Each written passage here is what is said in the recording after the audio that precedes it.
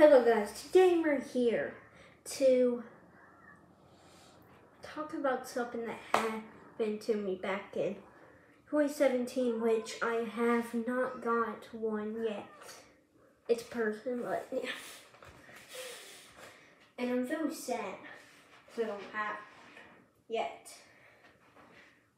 Well, I was gonna have one, but she kind of I mean, uh, uh, later. Get away. Get away.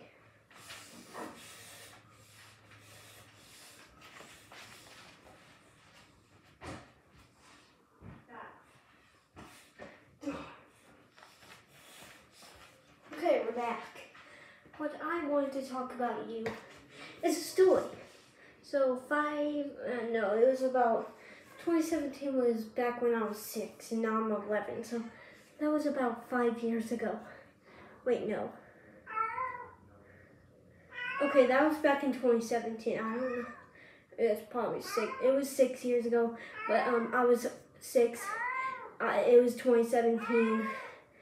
Well, I had a girlfriend that was the same age as me that nobody knew. Now, finally tell, because she passed the Which we are both the same age, but we don't have the same birthday. Or, well, we had the same, like, eh, what year you were born, but not the same month and the day. So when she turned seven, I turned seven for her. But when she turned seven, we got kidnapped.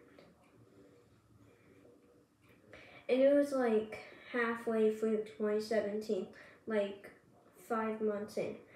And he told me either I can sacrifice myself for her or or or she dies or she can sacrifice herself for me.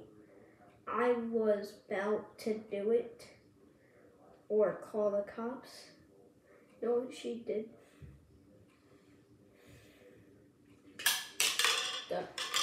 She sacrificed herself.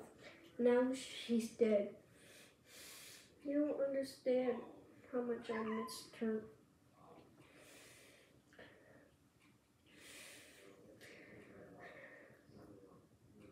I missed her so much.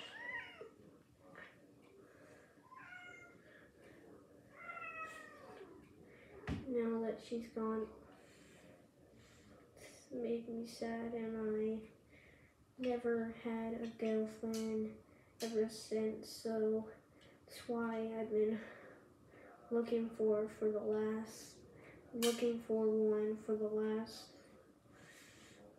um I don't know how much years uh six years because it's 2023 yeah now but I miss her